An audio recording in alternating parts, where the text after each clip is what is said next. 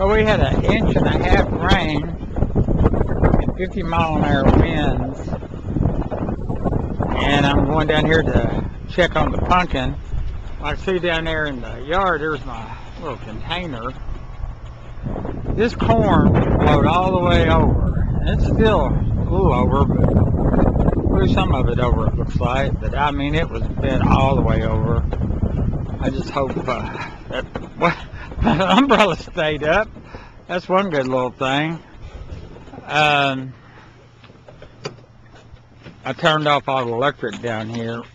Oh, let's see if I can get that up. That thing probably going to have to come out of there. But, uh, yeah. It's, I, I wonder if it blew this bucket over. No, it didn't blow it over. I can't believe that. Well, it's water right in there. No, you know, it stayed really dry. Actually, stayed really dry. I mean, it's wet here, but I cannot believe that. I'm gonna put that bay water in. Eh. I'll uh, go down here and get electrocuted in a minute. What I'm fixing to do. But it that that, that really surprised me there. But um, there's the uh, vine. And it looks like it got a little splatter on that.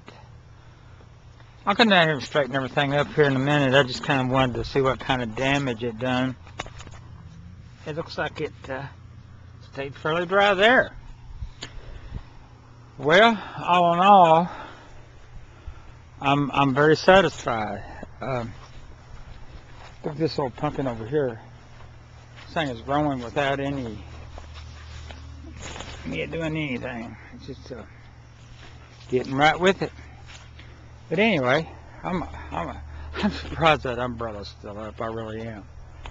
And uh, I'll let it. Uh, I'll turn the electric back on, get on down here, and try to clean that vine up over there, and and be done with it. So.